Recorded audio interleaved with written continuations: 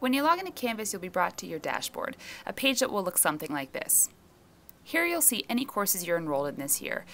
On the left-hand side is your global navigation bar, and this is how you can access your user account settings, a full list of courses you're enrolled, any groups your teacher has assigned, a calendar that will populate with published assignments, discussions, and quizzes, and your inbox, Canvas's email system.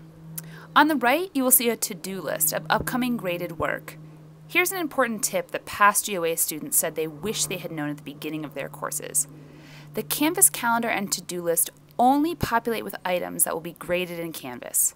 For example, it might not tell you that you have to sign up for a video chat or read an article or create an account for a web tool if those tasks aren't formally graded.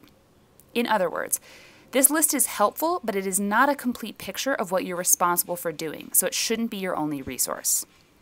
The best way to know what's coming up is to enter your course, and after being brought to your homepage, click Modules on the course navigation bar. This shows you at a glance all the content in a given unit. Select the page at the top of the module and use the Next and Previous buttons at the bottom to flip through the pages in order.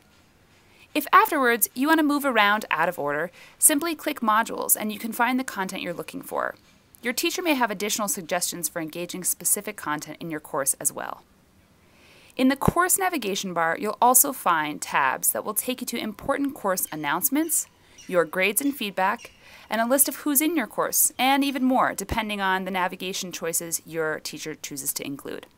If you get lost at any time, reach out to your teacher. They're here to help.